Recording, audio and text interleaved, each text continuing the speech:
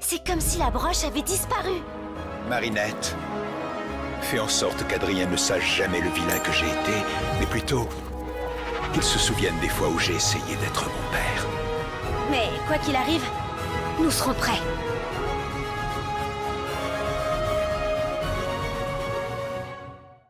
Attention, je rappelle que cette vidéo est une théorie, du coup je ne prétends pas détenir la vérité. Et je rappelle aussi que c'est une vidéo pour répondre à une théorie qu'a fait l'un de mes collègues, Afran. N'hésitez pas à aller voir sa vidéo qui est en description. Et moi je vous dis bonne vidéo.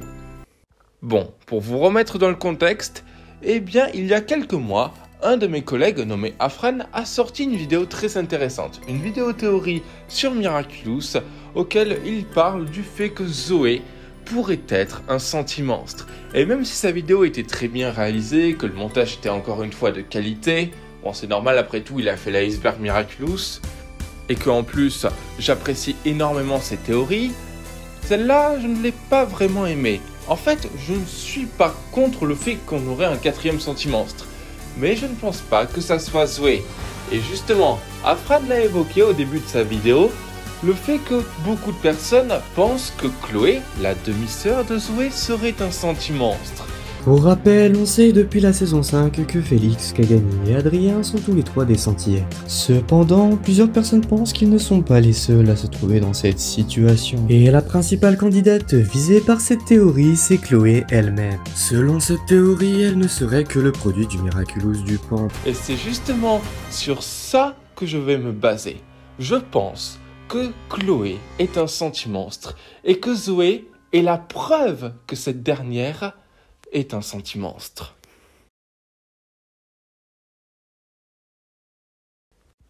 Avant de commencer euh, ma théorie sur Chloé, il est temps pour moi de vous parler des arguments euh, d'Afran sur le fait que Zoé pourrait être un sentimonstre. Afran a dit de nombreux arguments qui ne m'ont pas réellement touché, bien au contraire qui m'ont fait même hésiter. Déjà, il a dit le fait que Zoé, et ça c'est vrai, a eu beaucoup de développement au cours de ces deux dernières saisons. Elle est apparue en saison 4 et selon lui, elle pourrait être le sentimonstre représentant cette saison. Car d'après lui, chaque sentimonstre qu'on a eu, c'est-à-dire Félix, Kagami, Adrien, représenterait une saison. Plus chaque senti-être arrive un peu de nulle part au fil des saisons. Adrien en saison 1, Kagami en saison 2, Félix en saison 3 et logiquement Zoé en saison 4. Et c'est vrai que j'ai encore un petit doute par rapport à son argument. Argument qui peut être très juste.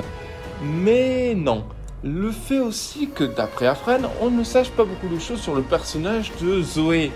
Et pourtant, on en connaît pas mal déjà. On sait qu'elle a été harcelée à New York, qu'elle a une famille, euh, tout comme la famille bourgeoise, qui ne l'aime pas trop, à l'exception évidemment du beau-père. On sait aussi que Zoé veut être actrice, qu'elle est lesbienne, qu'elle est amoureuse de Marinette. Bref, Zoé a eu droit à un vrai bon développement au cours de ces deux dernières saisons. Et même si je suis impatient de la revoir en saison 6, je ne pense pas qu'elle est un sentimonstre, comparé à sa demi-sœur. Bon, pour commencer, il faut tout d'abord remonter le temps. On est il y a des années avant la naissance d'Adrien, de Félix et de Kagami. On sait, grâce au passé de Gabriel, que André et lui étaient de bons amis et que c'est grâce justement à Gabriel que André a pu séduire la belle Audrey Bourgeois. On sait du coup que ces personnages se sont rencontrés, qu'ils étaient amis tous les quatre, que les bourgeois et les agrestes ont toujours été proches justement.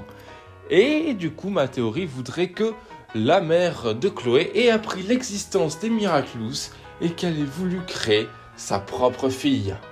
Et ce qui est encore plus troublant, c'est qu'on peut se dire, ok, mais du coup, ça veut dire que Zoé est un sentimonstre elle aussi. Non. En fait, Audrey aurait pu directement créer sa fille normalement, mais elle a décidé d'utiliser le pouvoir des sentimonstres. Pourquoi? Car elle peut créer l'être qu'elle veut, comme elle veut. Vous trouvez pas ça bizarre que Zoé imite parfaitement sa mère? Je veux dire que ça soit la couleur des cheveux, que ça soit les yeux, que ça soit évidemment le comportement, elles sont littéralement identiques. il y a surtout des phrases qui portent confusion, des phrases très importantes. Tout ce qu'il y a d'exceptionnel chez toi, ma chérie, c'est ta maman. Et autre que ça, et ça je l'ai appris grâce à la théorie d'Afran, qui m'a fait ouvrir les yeux sur ce fait, le fait que la mère de Chloé oublie tout le temps son nom, c'est assez étrange, voire même qu'elle oublie beaucoup de choses. D'après Afran, et ça je pense qu'il a raison dans sa théorie, ça serait le fait qu'à cause du Miraculous du pan endommagé, sa mémoire fut endommagée elle aussi. Vital, la mémoire, plus particulièrement celle liée à sa première fille. De plus, nous pouvons la voir en train de regarder les informations lorsque le temple des gardiens est retourné à son emplacement initial. Et Comme les anciens porteurs, elle souffre d'une malédiction, la malédiction d'avoir utilisé un Miraculous brisé.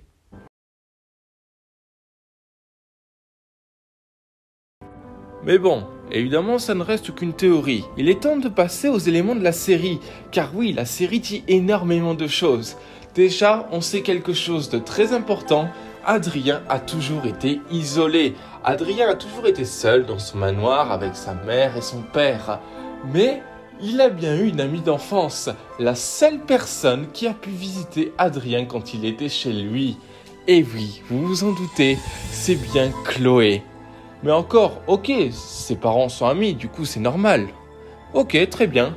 Mais alors, que dites-vous dans le fait que, dans l'épisode Gabriel Agreste, les quatre enfants sentimonstres sont réunis au même endroit?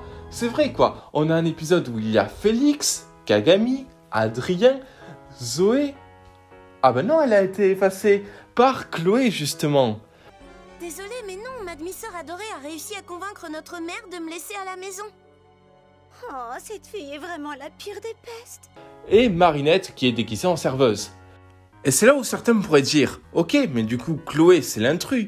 Eh ben non, parce que l'intrus c'est Marinette justement, qui est déguisée en serveuse, je le rappelle. En plus dans cet épisode, on apprend que Félix est un sentimonstre. D'ailleurs, on va continuer à parler de Félix justement. Vous vous souvenez, grâce au pouvoir du Miraculous du Pan qu'il a obtenu, il a pu deviner que Kagami était elle aussi un sentimonstre, en voyant justement son amok. Et même s'il n'a pas vu l'amok de Chloé, est-ce qu'il aurait réellement détruit? C'est un point que Afran a évoqué. Félix, selon lui, a détruit Chloé parce que Chloé était humaine justement.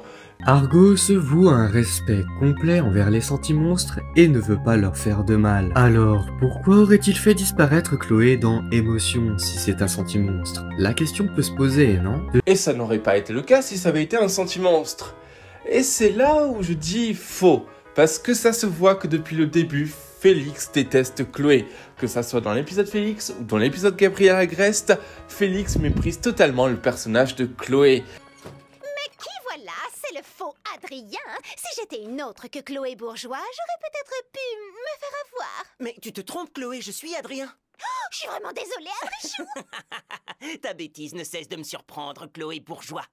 Et il sait qu'elle est maléfique, qu'elle est un peu folle et qu'elle est très méchante envers tout le monde et qu'elle n'aime personne, à part évidemment la richesse. Du coup, désolé pour toi, Fran, mais je ne pense pas que Félix aurait épargné Chloé, même s'il savait que c'était au début un sentimonstre.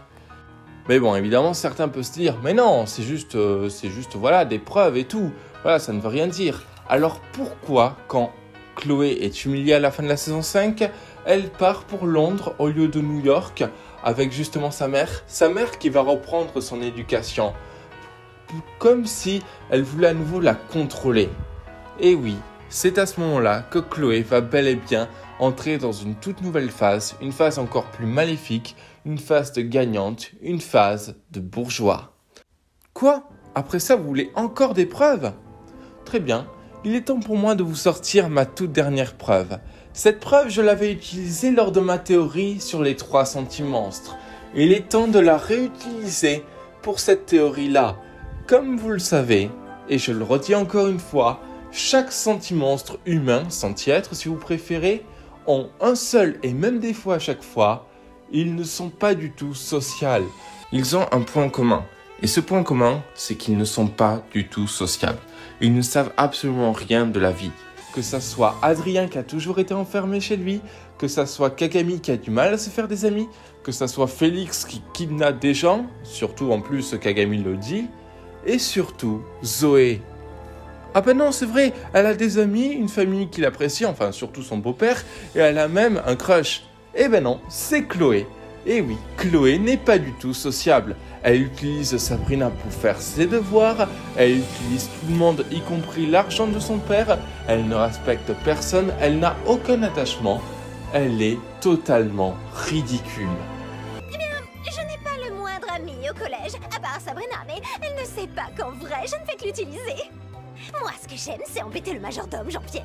Chloé n'a absolument aucun ami. Chloé est seule. Chloé est en souffrance. Chloé est égale à un sentimonstre. Bon, évidemment, je vous rappelle que cette vidéo n'est qu'une théorie. Ce n'est qu'une idée en tête. C'est absolument pas faux ni vrai. Il n'y a que les scénaristes qui, eux, possèdent la réponse à ce mystère. Et j'espère que ce mystère sera révélé. À moins évidemment qu'on se trompe, ça se trouve, Afran a totalement raison et Zoé pourrait être un senti-monstre. Ce que j'espère vu que j'apprécie énormément le personnage.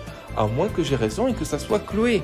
Dans tous les cas, j'ai hâte de découvrir dans un an cette saison 6 de Miraculous, auquel je suis sûr, les secrets ne seront pas légers comme des plumes. Comme d'un battement d'aile légère, je m'élève vers mes hauteurs solitaires. Et de là-haut, je regarde en bas.